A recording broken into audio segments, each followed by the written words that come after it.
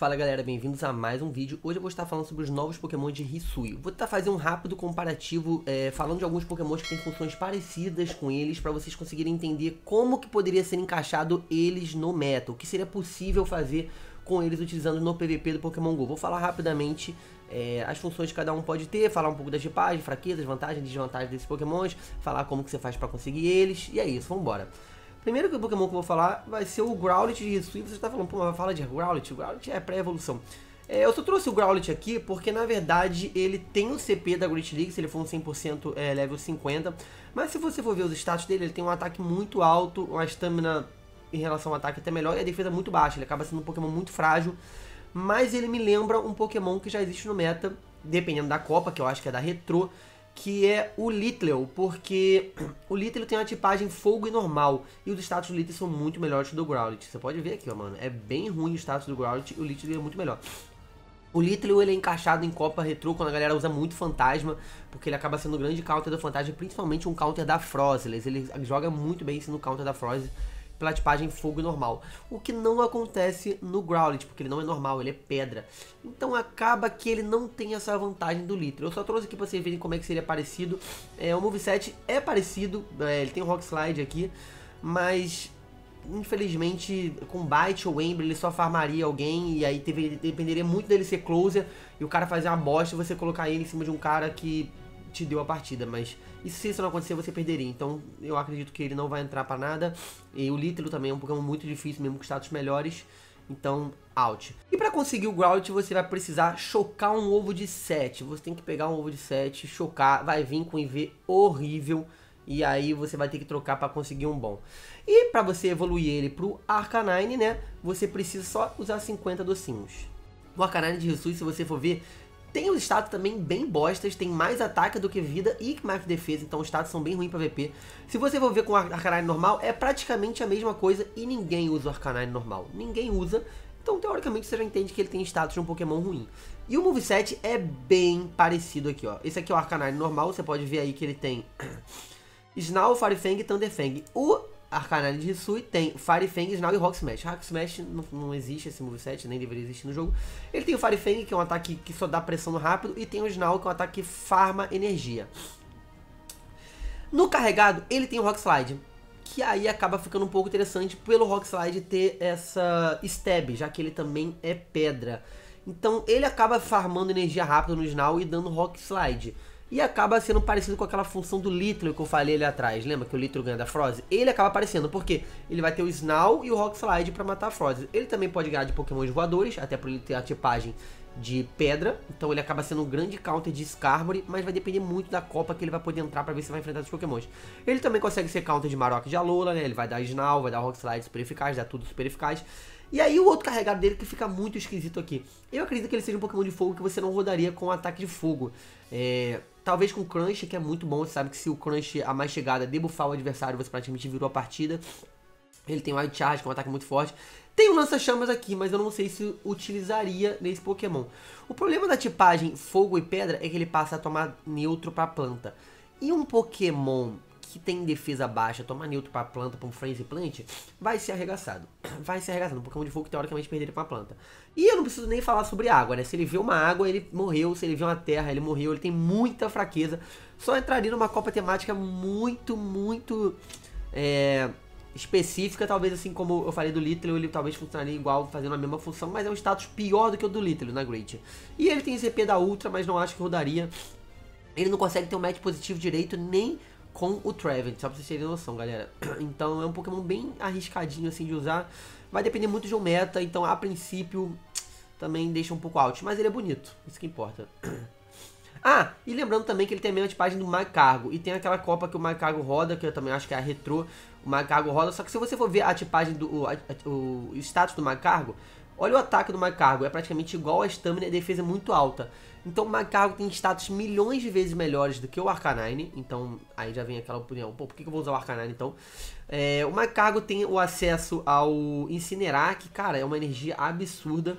Tem o Rock Tomb, né, carregado, que debufa o, o oponente e também funciona como um, um anti-voador. O Overhit, que dá HK em tudo.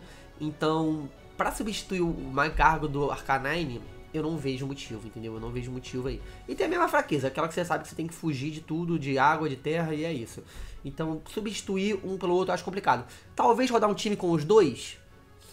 Talvez, né, mano? Faz os dois, cair um, puxa o counter, deu o outro e fica livre. Talvez isso. Beleza, vamos pro próximo aqui. Agora a gente vai pro Killfish de Hisui.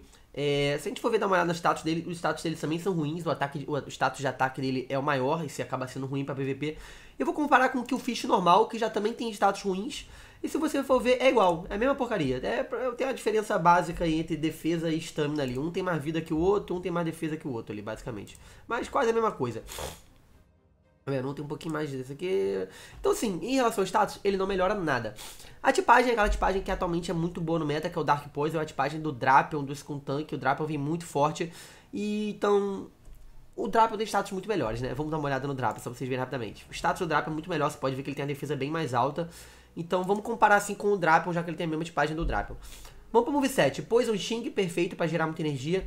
Ele tem o Aqua Tail, que o Drapion também tem. Ele tem o Sludge Bomb, que o Drapion também tem. E ele tem o Dark Pulse. O Drapion não, o Drapion tem o Mastigado. E o Drapion tem aquele poder de debuffar o adversário com Mastigado, ele dá 2 e mata o cara. Ele tem o Shadow Ball, eu não vejo muita função nesse Shadow Ball, porque teoricamente, tudo que o Shadow Ball dê super eficaz, ele vai precisar dar 2 para matar, enquanto o Dark Pulse também teria que dar 2, ou mais chegada também teria que dar 2, porque provavelmente seria super eficaz também, e é menos energia. Então eu não vejo muita função nesse Shadow Ball, apesar de ser um golpe muito bom. Seria melhor só pra dar dano em talvez um lutador, alguma coisa assim, tipo... Um Toxicroak, talvez. Só um Toxicroak eu acho que seria melhor, porque você não poderia nem dar Dark Pulse, nem Sludge Bomb. Acho que só essa função mesmo aí. É, mas o moveset, assim, é bem diferente. Ele tem mais cebinha aqui, ele tem 5 carregados. Se você for ver o Drapion, o Drapion também tem um monte de carregado, mas a galera brinca com o Drapion utilizando o Sludge, o Crunch, o Crunch e às vezes o Aqua Tail, né? Então, ele é um, um, um Drapion piorzinho que tem a opção de tentar bater num, num Toxicroak ali por causa do Shadow Bomb, mas tipo, também não vai matar de primeira. Então, mas aí pode ter... É, também. É isso, cara. É um Drapion piorzinho. E então de repente o cara pode rodar um time com os dois. Isso pode acontecer. A galera tá rodando um time com os dois, que também é uma tipagem, são parecidos. Um puxa o counter, o outro fica livre. e para conseguir o Baiacuzinho, você consegue encontrar ele naturalmente na natureza, ele tá aparecendo nesse evento. E para evoluir lá pro, pro Overkill, que a gente vai falar daqui a pouco, você tem que botar ele de Buddy e fazer 10 raids com ele de Buddy e depois usar os docinhos lá para evoluir. Esse manezão, o Overkill, também tem status muito parecidos. Aqui vocês não conseguem ver o comparativo. Mas se eu botar aqui pra vocês, olha aqui. Na Great League, se você for ver o que eu fiz com esse Overkill, os status são praticamente iguais, tá vendo? O ataque, ó, pum, uma diferença aqui, ó. No status total, o que o Fish acaba tendo mais status do que o Overkill, ou seja, o Overkill tem é, status menos balanceados do que o Fish, que já são horríveis. Então, na Great eu não vejo motivo de rodar. Mas aqui acaba caindo naquela mesma situação que eu falei. Ah, o cara quer rodar os dois. Quer rodar o Kill Fish e o Overkill. O Kill Fish e o Drap. Um Drap e o Overkill. O Drap o Kill Fish. Sei lá. Dá a mesma coisa. E o moveset também é a mesma porcaria, galera. É a mesma porcaria, ó. Ele tem aí, ó, Poison Shin, Poison Jab e aqui todos os membros carregados. São praticamente, o Pokémon é praticamente o clone um do outro, mano. Eu não consegui muito entender a lógica. E aí cai aquela mesma situação. Só que agora ele pode chegar na Ultra Liga, enquanto o Killfish não tinha CP pra Ultra Liga. Só que na Ultra Liga a gente tem o Drapple. Esse Pokémon vai funcionar meio que como o Drapple de pobre. Ou a galera vai usar dois ele, ele com o Drapple, que na Ultra só poderia ser o Overkill e o. Tem o Poison Jab, tem o Sludge, tem o Dark Pulse. E o Drapple tem mais chegada. Então ele acaba sendo um Drapple, um Drapple piorzinho. Mas aí, como você não pode usar dois Drapples num time, você pode usar ele. Então, tem gente que usa com Muck, com Skuntank, pode ser que a galera comece a usar com ele, mas eu acho que eu sinto falta do debuff do Mastigada, né? Mas tem o Dark Pulse aí, dependendo do Pokémon, dá pra ele jogar. Ele tem o Ice Beam, eu acredito que a galera não deva rodar. O Aquatail seria naquela situação de pegar Stonfisk de Galar, que tem gente que já faz isso no Drapion. E o Shadow Ball, eu sinceramente não, não vejo muito motivo aí, mano. Então, basicamente é isso esse Pokémon.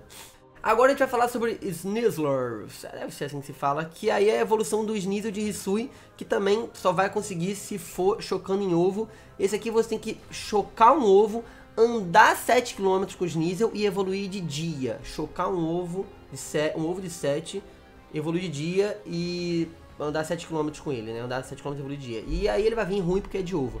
Eu pulei o Sneaselzinho porque ele é muito fraquinho, vou falar direto dele. E ele tem essa tipagem que é Fight Poison. Quem tem essa tipagem Toxicroak. Então é tipo, e você sabe que o Toxicroak muitas vezes quebra o meta, a gente vai falar sobre isso. Vamos para os status. Olha como que é desbalanceado os status, ataque muito alto. Se a gente for dar uma olhada no Ivile, que no caso teoricamente ele seria o Ivile, né, de Resui, ele também tem a mesma bosta de status de Ivile e ninguém usa o Ivile, porque é muito difícil você encaixar um Pokémon tão frágil. Porém, ele tem tipagens completamente diferentes, então não tem as mesmas fraquezas. A tipagem do Ivile é muito ruim, a tipagem do Snizzler é muito boa. E aí a gente pode já descartar o Ivile, apesar de eles serem um pouco parecidos. E ele tem menos status que o Ivile. Só que vamos lá comparar agora com o Toxicroak. Se você for ver, ele tem um pouquinho menos status Toxicroak. Tá, consideravelmente menos status. Toxicroak também é muito frágil, ele acaba sendo muito frágil. Então ele acaba tendo os mesmos problemas do Toxicroak, que é, pela sua fragilidade, você pode teoricamente ser counter do time inteiro. Mas fica muito difícil você levar o time inteiro. Mas ele vai ter umas situações bem interessantes. Eu vou falar aqui um pouco dele. Eu acho que ele é o foco aqui do vídeo. Eu acho que ele é o mais interessante. Vamos lá, vamos para os ataques. Ele tem o Shadow Clock, que é um ataque muito bom no rápido. Muito bom, um dos melhores ataques do jogo, rápido. E nos carregados ele carece um pouco de carregado, porém ele tem Close Combat, que é um dos melhores carregados do jogo, e ele é lutador, então ele tem Close Combat com Stab. O que, que ele vira? Ele vira uma bomba atômica, porque no que ele acertar Close Combat, acabou. E ele tem um Shadow Clock que vai fazer ele gerar energia muito rápida e também dá muito dano, até em counter deles, como fantasma, essas coisas. Então, é o seguinte, acertou o Close Combat, acabou a partida. Mesmo se for resistido, a porrada é muito grande. Então ele acaba tendo muita play aí, porque assim como o Toxicroak, às vezes ele consegue levar um time inteiro. Como se fosse o exemplo do Needle Double Dark, né? Porque o Toxicroak teoricamente é counter da Nidoqueen e dos Darks.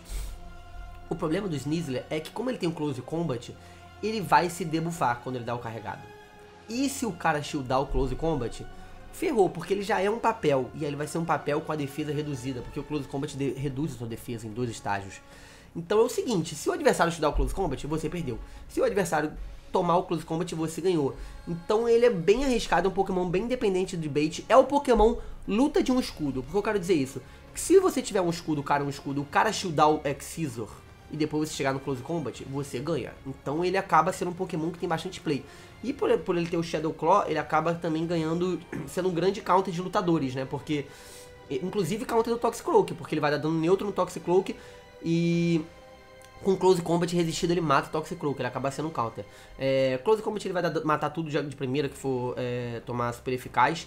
E ele joga muito bem nessa Copa que tá rodando agora, na Copa Risui, porque ele consegue ganhar até de alguns fantasmas, como a Frozless pelo ter o dano muito forte no Shadow Claw da Frozas, gerar muita energia, e o Close Combat ser resistido, e é aquilo que eu falei. Eu já joguei com o Ivile, e o Ivile também fazia isso com a Frozas, ele dava Focus Blast na Frozas, era resistido e ele matava a Frozas, só pra vocês terem noção. Mas ele tem o Shadow Claw que dá muito dano, mano. Então ele é o Pokémon... O melhor Pokémon de Hisui atualmente é esse. Ele vai jogar em poucas copas, ele joga nessa atual que tá rolando, e vai depender um pouquinho do meta. O problema é esse Tesoura X dele aqui que não tem muita função. Porém, a parada é o seguinte, pelo ele ter Shadow Claw e Tesoura X, ele acaba dando super eficaz em Pokémon psíquicos. Seria ele um lutador counter de psíquico? Não, porque se ele tomar uma confusão ele morre de Whipero. Mas se ele jogar contra um Mil, que não tem ataques psíquicos, teoricamente, ele acaba dando muito dano. Ele também consegue bater, bater ali na Cresselia, né? Porque a Cresselia não costuma dar dano no rápido, então ele vai de Shadow Claw e Excisor dando super eficaz. Se ele tiver energia também, e aí o Whipero vier ele com energia, ele pum, dá um Excisor sai, dá um, dá um Shadow Claw e sai, isso aqui, vai dando uma porradinha, ele consegue dar uma trocadinha. É interessante, sim. Então acho que o foco é esse o Pokémon mais legal aqui dá pra se jogar, mano. Então, e aí, arrumar um IV bom vai ser foda. E agora a gente vai falar do Rissuin Breviary, que vai ter um dia de raids agora. Você vai ter que fazer raid pra conseguir ele. E vamos lá, dar uma olhada aqui nos status dele. E eu vou comparar com o Breviary que já existe, mano. E ninguém usa Breviary. E os status são muito parecidos, basicamente, e ninguém usa Breviary. Por quê? Porque é a merda. E o Rissuin Breviary ele tem a tipagem diferente, que é voador e psíquico. Por que, que eu não gosto dessa tipagem, apesar de ser a mesma tipagem da Lugia? Só que a Lugia tem uns status absurdos. Com essa tipagem, ele acaba sendo um voador que não countera fantasmas. E muitos voadores são counters de fantasmas, como o Noctowl, o Pidgeot. Nesse caso, ele perde para fantasma. Ele perde a tipagem normal, que resiste aos ataques fantasmas, e ganha a tipagem psíquica, que passa a tomar super eficaz de fantasma. Então eu não consigo ver muita função dele. Ah, mas ele é um super counter de lutador. Só isso, né, meu amigo? O moveset dele não é muito bom, ele tem o Air Slash, que é um ataque ok, né? O Skarmory usa, a Mandibles usa, mas são pokémons com status maravilhosos e ele você tá vendo que carece de status. Nos carregados, ele tem Brave Bird, que tá um porradão. Uh, tem Gling Gling aí, né, que é dá super eficaz em lutador, basicamente, em Dark, né? Então ele é um psíquico que consegue dar um dano no Dark por causa do Gling Gling, né? Teoricamente, né? Uh, tem psíquico aqui, eu não vejo muita função. Ômenos também não vejo muita função. Mas é aquilo, mano. Se você for ver a, os ataques dele, Mano, se ele for encaixado no metal, ele não tem como brigar com metal. Porque ninguém vai usar Ominous nele. Você só vai ter ataques resistidos no metal, como Dazzling Brave Bird, Psíquico. É... Então eu acredito que esse não vai ter play, mano. É só pra Niantic fazer um dinheirinho aí que você só consegue arrumar. Não, não consigo ver um cenário que ele funcione, galera. Esse aí hum, faz a rádio lá, cata um e legal, beleza. Não, não vai usar no PVP, mano. Eu acho muito difícil ter uma temática que ele consiga jogar. É, talvez na Copa Retro, porque na Copa Retro não tem Dark, nem não tem Dark, nem tem Metal. E aí ele fica parecido com o Oranguro, né? Acaba tendo essa semelhança com o Oranguro aí, né? Com psíquico ainda também, o Oranguro tem o Fall Play. Ele acaba tendo essa semelhança, né? E é isso, mas o Oranguro resiste também aos fantasmas e ele não resiste. Eu acabo, acho que fica pior do que o Oranguro nessa situação. Então é galera. Os Pokémons foram esses. Acho que vocês deu pra entender o que, que dá pra focar, né? Os Nizerzinho aí. Hum, os outros eu acho muito arriscado. O que o Fishzinho também, de secundário. Basicamente é isso, galera. Espero que tenham curtido tirar uma dúvida de vocês. Se ainda não se inscrever no meu canal, só, só clicar aqui embaixo. Vai ter uns outros aqui do, do lado pra vocês maratonarem. É isso, valeu, muito obrigado e até a próxima.